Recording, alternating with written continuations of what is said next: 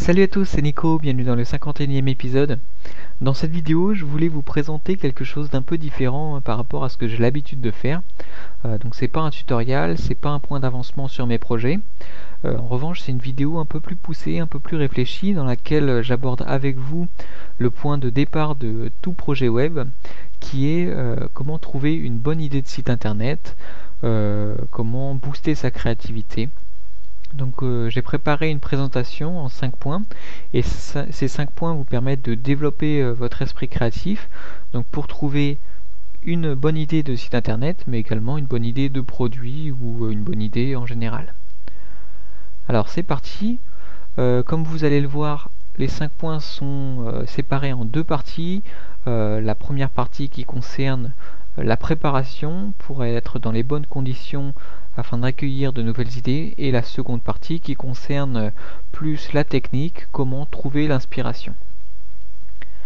Alors je pense que c'est essentiel euh, d'être euh, dans les bonnes conditions mentales et physiques pour euh, accueillir de nouvelles idées.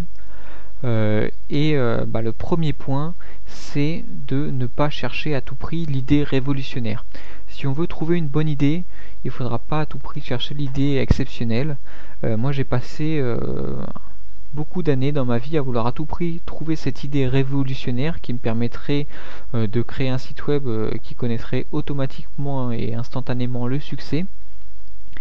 Et euh, bah, je me suis rendu compte que ça menait à rien, que cette idée révolutionnaire ne venait jamais.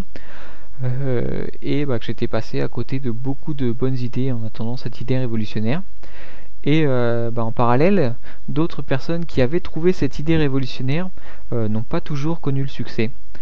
Euh, parce que bah, l'idée en elle-même ne fait pas tout. Euh, ce qui va compter euh, quasiment autant que l'idée, si ce n'est plus, c'est la réalisation de cette idée et tout l'aspect marketing.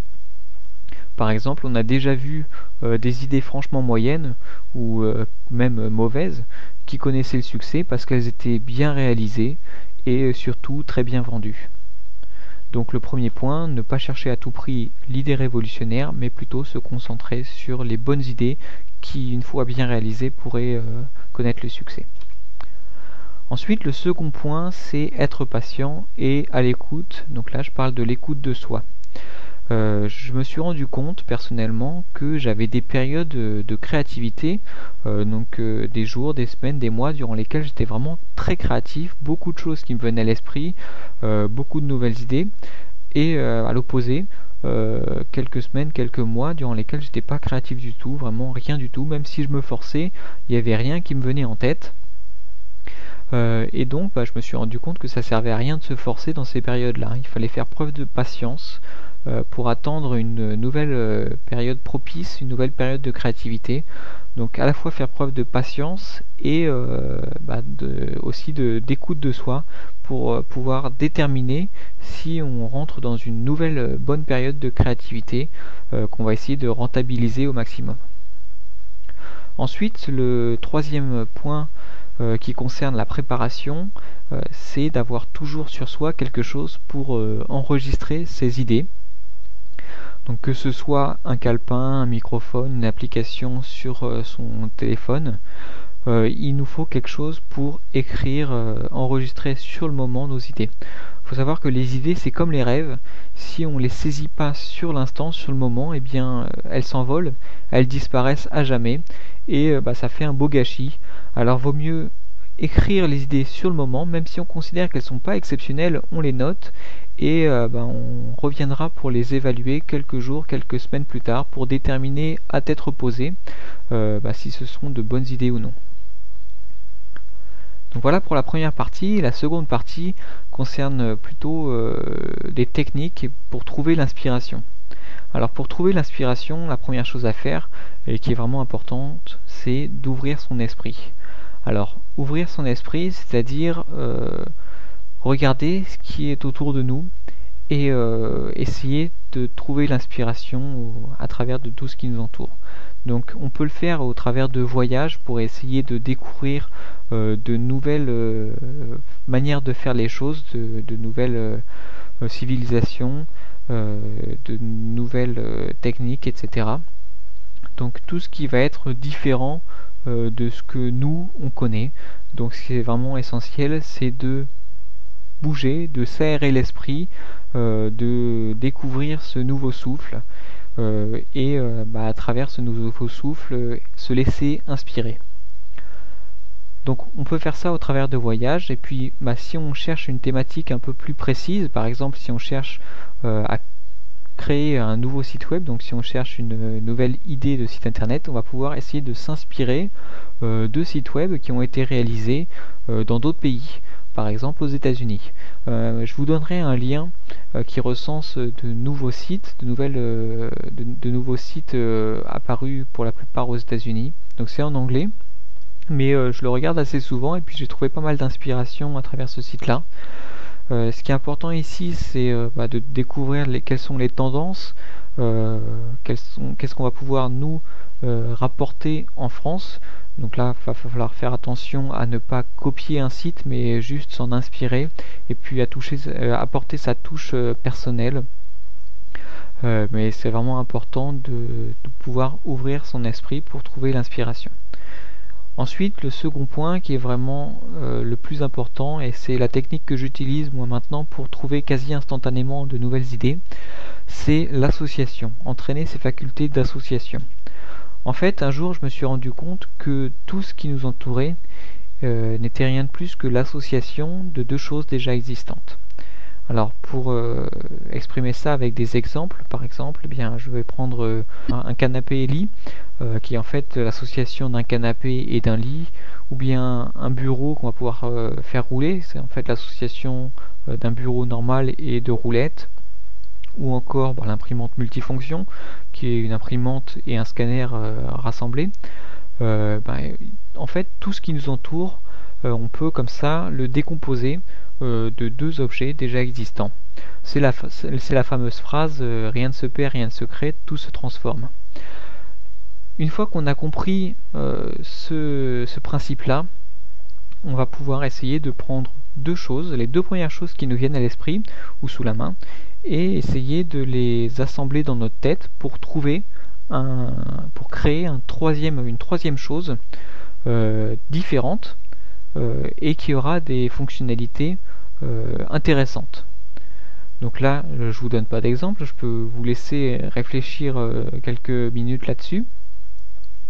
Euh, ce qu'il faut essayer aussi de, comprendre, c'est que l'être humain, il est beaucoup plus créatif sur un domaine précis avec de fortes limitations plutôt que sans limitation du tout. Alors pour illustrer cet exemple-là, bah, je peux prendre l'exemple d'un professeur un professeur d'art plastique par exemple qui va demander à ses élèves euh, de construire quelque chose avec une feuille de papier. Euh, eh bien le résultat euh, sera vraiment classique et peu créatif. Les, les, élèves vont faire quasiment la même chose, des, des formes assez, assez, simples. En revanche, si le professeur fixe de plus grandes limitations, euh, il leur demande de créer un château fort ou une maison avec cette même feuille de papier, et eh bien là les élèves vont pouvoir euh, vont être beaucoup plus créatifs et on va pouvoir observer de plus grandes différences dans euh, les résultats de, ces élèves. Et bah, l'être humain, il est comme ça, je ne sais pas pourquoi, mais lorsqu'il se concentre sur un domaine précis, les idées vont venir beaucoup plus rapidement et quasi instantanément. Donc c'est le même principe, euh, quand on associe deux choses, on se limite à la réflexion sur euh, les capacités euh, de la première chose et de la seconde chose. On, assemble leurs capacités, le, leur fonctionnalité, et on essaye de voir quelle nouvelle fonctionnalité, comment ce troisième objet peut être intéressant. Donc qu'il va falloir faire attention ici, c'est ne pas vouloir faire un objet ou un site fourre-tout qui, qui comportera toutes les fonctionnalités euh, euh, imaginables et qui au final bah, sera complètement inutilisable. Donc voilà pour la petite euh, technique que moi j'utilise pour créer instantanément de, nouvelles idées. par exemple, le site postal-code.fr, c'est, bah, ça m'est venu cette idée-là de faire quelque chose de super simple, quasiment instantané. Bah, euh, il y avait déjà des sites existants qui permettent de trouver les codes postaux. Donc ça c'est d'un côté et puis de l'autre côté il y avait le fameux Google Instant qui permettait de, trouver instantanément les résultats de recherche au fur et à mesure qu'on écrivait dans le champ de recherche. Et eh bien moi j'ai repris ces, deux choses déjà existantes et j'ai essayé de faire un nouveau site qui permet donc de chercher euh, les informations sur les communes françaises en écrivant et puis on aura les résultats quasiment instantanément. Ensuite, pour le site de gestion de To-Do, eh bien, des sites de gestion de To-Do, euh, il y en a déjà qui existent. Et moi, j'ai repris euh, le principe de Twitter dans lequel on peut envoyer un tweet à quelqu'un, on peut adresser un tweet à quelqu'un avec le arrobas ou bien associer des sujets avec le, fameux dièse. Eh bien, je reprends l'idée d'un site de To-Do et euh, l'idée de Twitter et je les assemble pour essayer de créer un nouveau site qui soit euh, pratique et fonctionnel. Donc ça c'est deux exemples parmi beaucoup d'autres. Euh, on peut maintenant trouver rapidement des, idées intéressantes de produits, de sites internet, de tout ce qui nous passe par la tête. Essayez avec ce qui vous entoure et puis n'hésitez pas à me faire part de vos réactions dans les commentaires. Si vous aussi vous avez des petites astuces euh, qui vous permettent de trouver rapidement euh, des idées. Euh, n'hésitez pas à les partager sur 365-jour.fr et bah, j'attends vos commentaires comme d'habitude. Et n'hésitez pas à partager cette vidéo avec vos amis. Donc bah, d'ici là je vous dis à bientôt et salut